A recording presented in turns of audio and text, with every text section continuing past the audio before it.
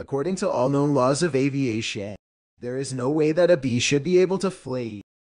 Its wings are too small to get its fat little body off the ground. The bee, of course, flies anyway because bees don't care what humans think is impossible.